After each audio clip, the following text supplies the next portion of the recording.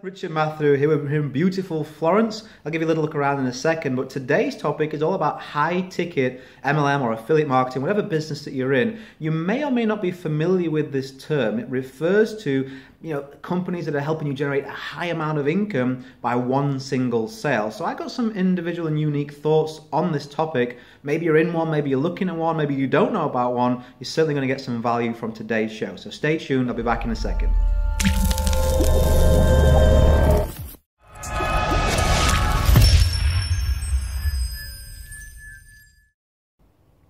Okay, welcome back. So, high ticket is a term that is thrown around a lot and it's increased recently. There is a number of high ticket uh, opportunities around. Now, let me kind of back up a second and define what one of those is. Maybe, maybe you don't know.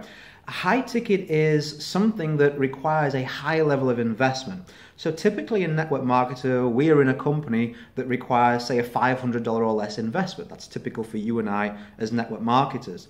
There are some opportunities out there that require a lot less maybe five, ten, fifteen dollars to get started.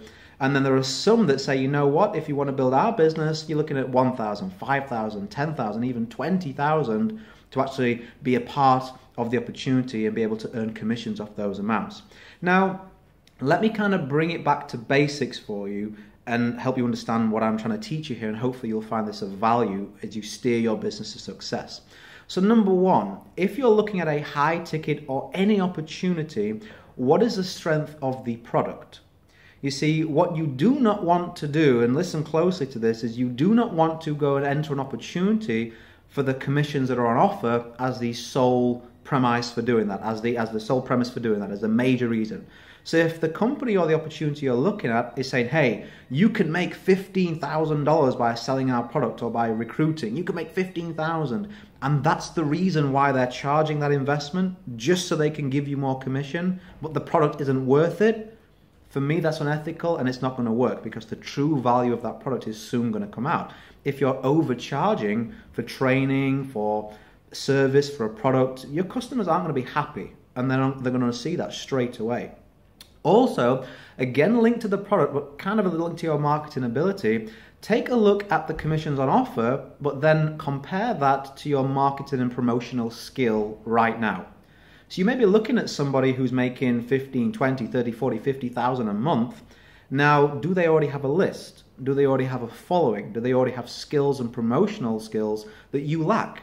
Because just because you get in the same system as them, if they have got years of experience on you, of course, that doesn't mean by osmosis you're going to get the same results. Now, if they're going to work with you closely, that can happen over time, but don't expect a quick fix by getting this big commissions or an offer, but that requires a big investment, which is a harder sell. And if you can't sell low value products, how are you ever going to sell something that's higher priced and requires more of a decision from your consumers? So that's just some kind of a couple of thoughts of mine on high ticket companies. There are many good ones out there, but take a look at the product and ask yourself about the value of that and the people who you're going into business with. Look at their track record and how they've managed to make those sales and build that income. I just don't want to see you trip up.